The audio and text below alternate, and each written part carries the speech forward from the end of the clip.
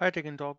So today we are going to start uh, iMemory cache implementation. So why it's important? Because we don't want every time when there is a request, data should not be fetched from the database straight away. It should look first in the cache to increase the um, request response time and to reduce the you know utilization of the resources.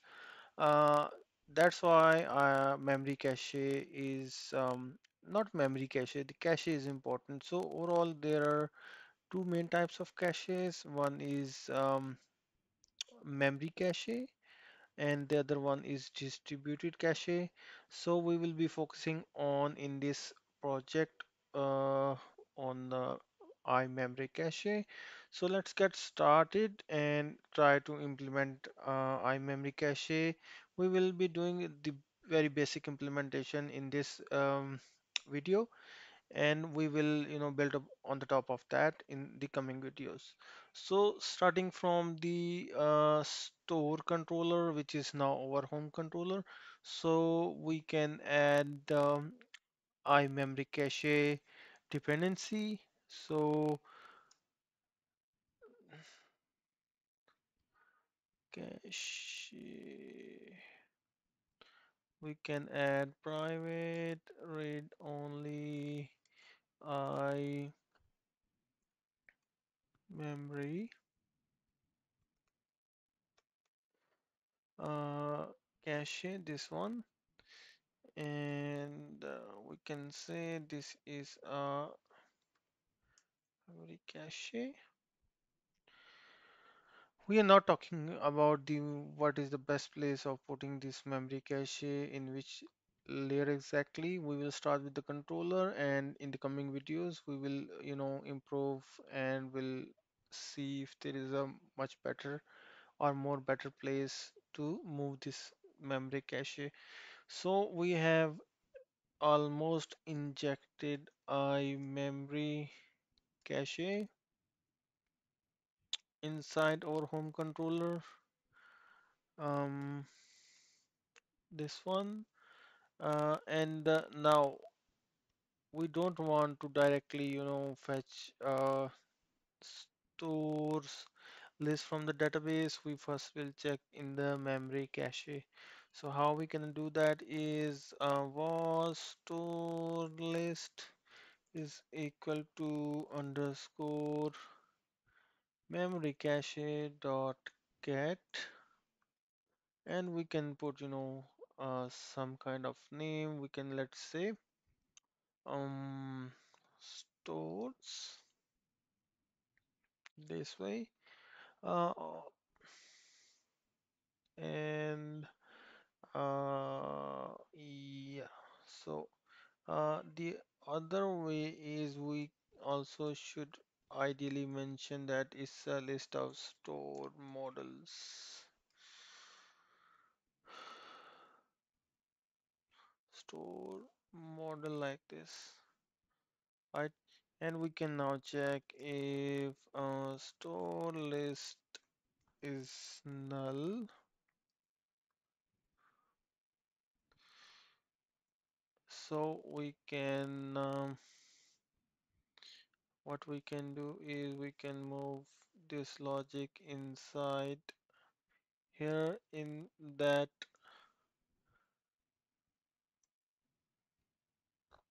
block. And here after that we need to uh, set the store service dot set. And here we can pass the string the key value of this list to store inside that cache and the other one will be the other parameter will be the list of stores. This way. Uh yeah that would be our memory cache.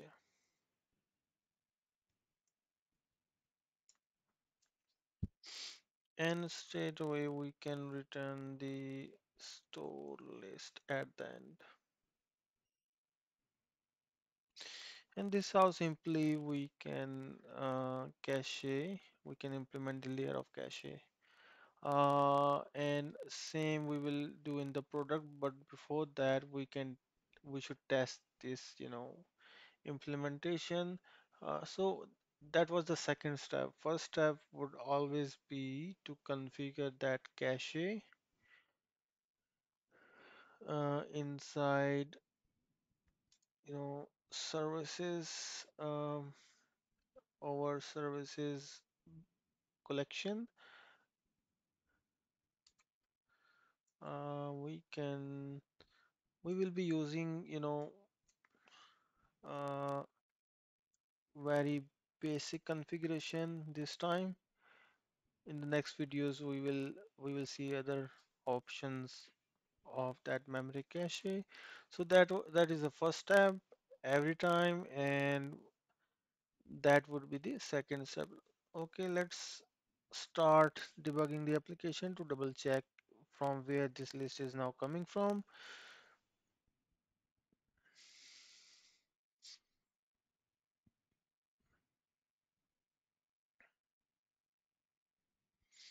And currently it's taking some time to build uh, which is understandable I guess. So by default we will be presented with a login view uh, if the user is not logged in already. Because I was logged in last time so I will be redirected to stores. Uh, let me refresh and now see uh, list of stores so it should be cached already. So now I'm getting the stores from the cache because this is not null straight away that store list will be returned to the view without accessing the database this time. But this is how you know we can uh, save calls to the database. Uh, same we will be doing for the products uh, product controller. So here uh, we will be adding um, cache the injection private read only i i memory cache uh, memory. Cache and inside that controller that would be iMemory cache memory cache uh, memory cache this way and here because this is also a get method we can um,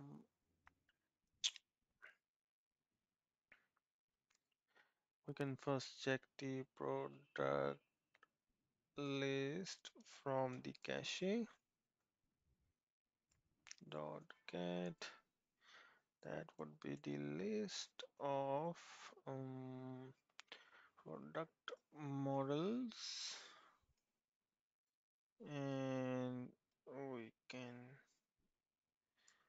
uh, we should pass the key value which will be the uh, products uh, in our case we can choose any of any you know name but it should be consistent throughout the application. And next we can check if uh, product is null in that particular scenario. We should be fetching from the database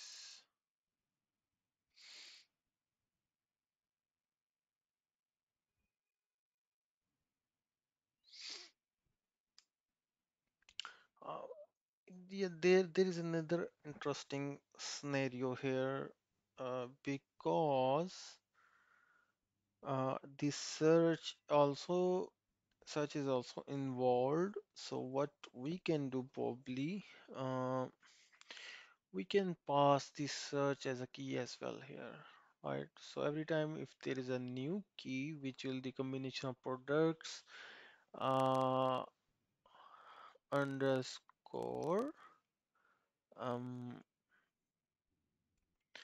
the search query. Every time every time there is a you know new search a new key will be generated in the database uh, not in the database in the memory cache.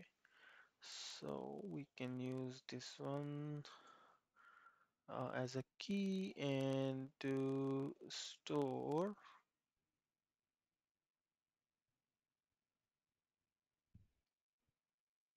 products list. And we to store this one we can simply uh, use the same mechanism?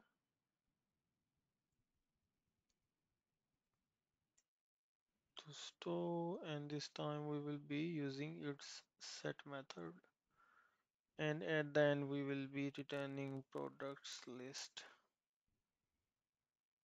Okay so let's let's um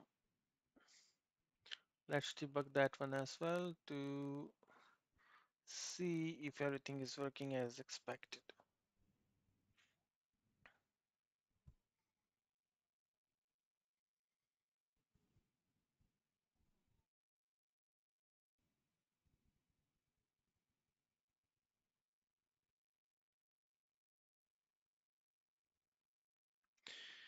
okay we are getting list of stores and for the particular product uh, first of all we can see search is empty. We will be searching inside the cache which is null and we can save that product list inside the cache. Next time we will be searching uh, the store uh, the products. Uh, we will be getting the list of products from the cache which is fine. And the additional scenario is if we are uh, you know adding a particular query and we try to search this time it should not be able to look and find in the memory cache because now the key is different. We can see that because key would be the uh, products underscore product because we have searched against you know the product keyword. Uh, now it will be get stored in the cache. That is fine. And next time we will search it will be coming from the cache straight away we can see that only one record is coming from the cache. Next block will be skipped and we will be returning that um, results. And if now we search and because that is the previous key we you know saved again so the three list count will be returning from the cache straight away without going to the database so this is how easily we can implement a memory cache. Memory cache is helpful to reduce the um, resource utilization especially the database utilization. Uh, but we should be very careful whenever we are implementing those cache mechanism uh, from con concurrency to the uh, over consumption of memory there are you know vast variety of issues that can happen. So in the next videos we will try to cover you know most of those scenarios one by one. So stay tuned. Till then have a good day. Talk soon. Bye